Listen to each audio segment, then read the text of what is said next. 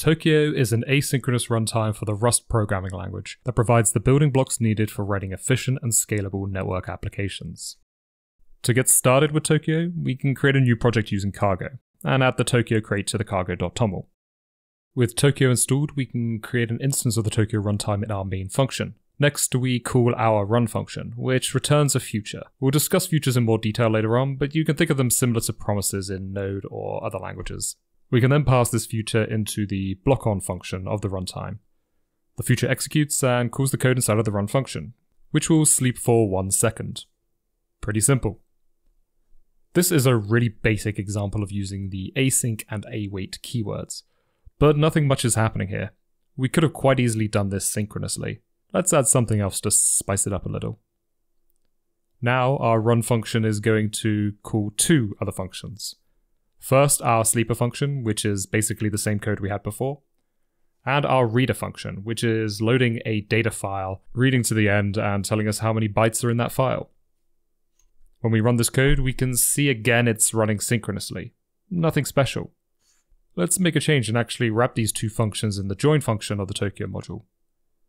In the output, we can now see that both functions occurred at the same time, aka concurrently. To further explain this point, let's go ahead and do this again, but calling the reader function 10 times. Pretty cool. For reference, here's how long this takes if we perform this synchronously, almost double the amount of time due to the lack of concurrency. So that's pretty great. Maybe we should just be using Tokio for everything, right? Well, not exactly. Tokio is good for non-blocking I.O., which is when an application is waiting on operations such as reading from a file or network data. However, there are situations where the bottleneck of an application is CPU, or performance bound. Tokio uses a single thread for its main event loop. Therefore, if any tasks are performing heavy CPU based operations, this will actually slow down the other asynchronous tasks that are running. To demonstrate this, I've gone ahead and added in a Fibonacci calculation to each of the reader calls, which is expensive on the CPU. By adding in this calculation, we've dramatically increased the runtime of our application Fortunately, there is a way to get the performance back. We can use the task module of the Tokio framework to spawn a task, which will run in a different thread. And just like that, we're performing again. Oh, I forgot to mention. A little quality of life improvement. We can actually use the Tokio main macro instead of creating a new instance of the runtime. This turns our main function into an async function that returns a future. Neat. Okay, so now you're a master of asynchronous Rust, it's probably time to discuss futures and how they differ from promises. So it may not be very visible from the code that we've written, but we've been interacting with a type known as futures this whole time. A future represents a computation that will be completed in the future. They are the essential building blocks of asynchronous code. When compared to other languages, they are most like a promise, however, with one major difference. They are lazy. This means they don't execute as soon as you create them, but instead only once they are explicitly polled by the Tokio runtime, which is typically when the await keyword is used. Let's highlight this with an example.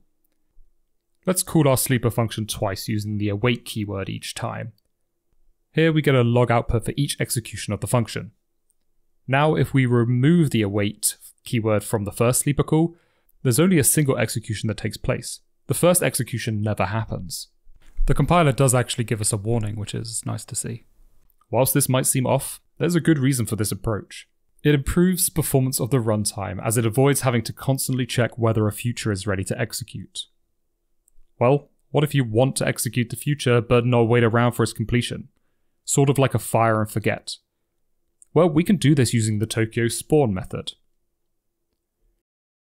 Futures are returned implicitly whenever we use the async keyword, which basically acts as syntactical sugar. It also allows you to use the await keyword, which can only be called inside of an async function.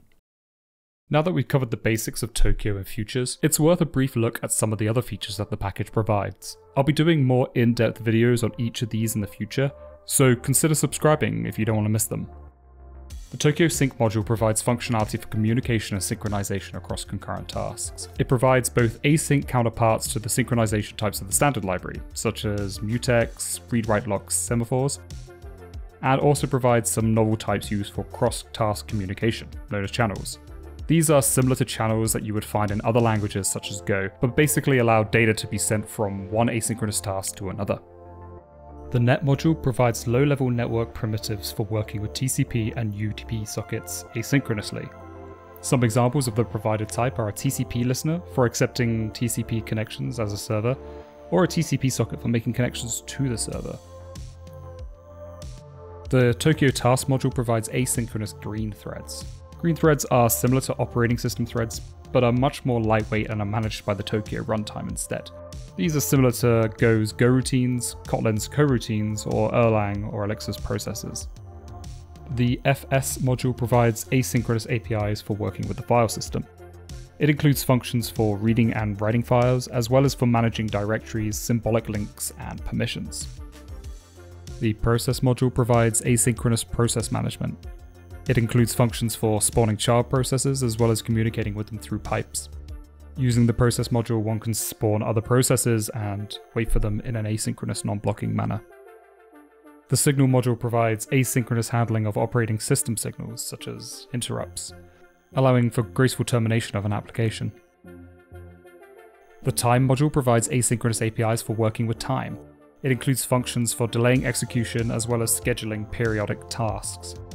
The module also has support for setting timeouts on futures using the timeout function, which can be useful for cancellation of long-running execution. And the Tokio test macro provides the ability to test asynchronous code concurrently, by using the macro with a test case, we're able to use the async and await keyword with our test functions. With all of this functionality provided by the Tokio framework, it's possible to create IO-based applications that are both performant and scalable. I hope this video helped to encourage you to play around with asynchronous programming in Rust and inspired you for your next project.